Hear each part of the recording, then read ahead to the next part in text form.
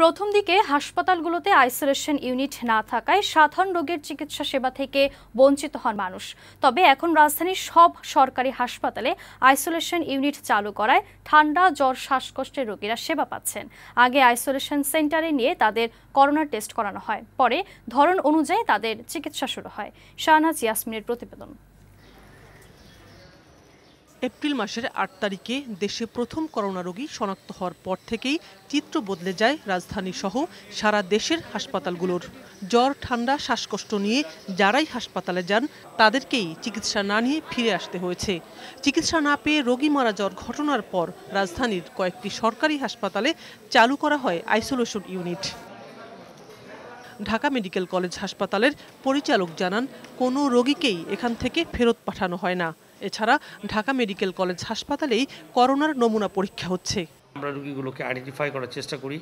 আমরা আমাদের ইমার্জেন্সিতে আমাদের আইসোলেশন রেখেছি টেম্পোরারি আমরা যদি কোনো কারণে কোনো রুগী ভিতরে এসে যায় সাসপেক্ট হয়, তাদেরকে, তাদের জন্য আমাদের একটা ইন্টারনাল আইসোলেশন আছে। আউটডোরে যদি কোনো সাসপেক্ট হয়, সেখানে আমরা রেখে আমরা তাদের টেস্টটা করব। পজিটিভ হলে তার চিকিৎসা ব্যাহত না হয়, সেটার চেষ্টা আমাদের সর্বোচ্চ থাকবে। অনেকে হয়তো চিন্তিত থাকবেন, আমরা কোথায় যাব এই রুগীগুলিকে নিয়ে। তাদের কাছে আমি আশ্বস্ত করতে চাই, আমরা ঢাকা মেডিকেল কলেজ আগে যেভাবে ছিলাম, এখনও সেই সেবাটা অব্যাহত রেখেছি।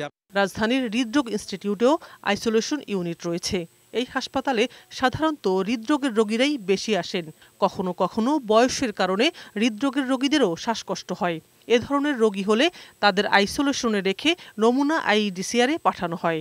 জাতীয় হৃদরোগ ইনস্টিটিউট হাসপাতালে যে কোনো বুকে ব্যথা বা শ্বাসকষ্ট রোগী এখানে আসলে আমরা অবশ্যই তার চিকিৎসা দিব এবং আমরা যে আইসোলেশন ওয়ার্ড আছে, যদি কোনো করোনা রোগী পজিটিভ পাওয়া যায়, আমরা এখান থেকে কুয়েত মন্ত্রী হাসপাতালে পাঠাই দিই অথবা ঢাকা মেডিকেল কলেজে পাঠাই দিই।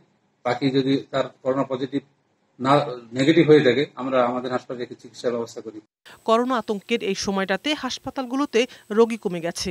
জাতীয় হৃদরোগ ইনস্টিটিউটে হৃদরোগের রোগী ছাড়াও জ্বর, কাশি, ঠান্ডার রোগী সহ এখন ভর্তি রয়েছেন একশো আটানব্বই জন। এছাড়া এখানে আউটডোরেও চিকিৎসা অব্যাহত আছে। সানাজি ইয়াসমিন, বৈশাখী সংবাদ, ঢাকা।